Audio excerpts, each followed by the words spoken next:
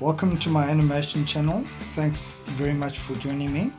Thanks to those who've already joined my course, Making a Short Animated Movie course. If you haven't already joined, please follow the links on my description here on my bio to the course where you can find out more details about it.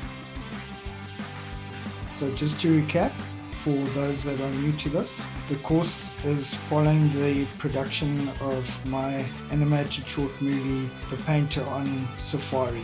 And in this fifth update of the course, I'm including part of a clip from a lesson on part one where I go through and crit the animation that I did for part one of the movie.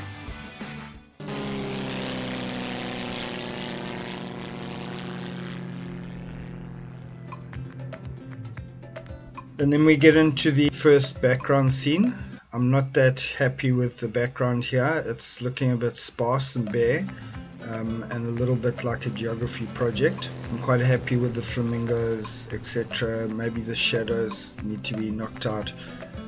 The scene I'm pretty happy with as, as is up to a point.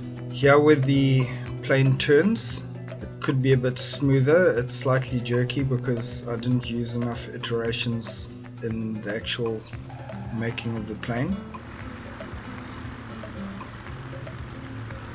Uh, there's a little bump stop here where the plane tips in there, very delicate, I quite enjoyed that.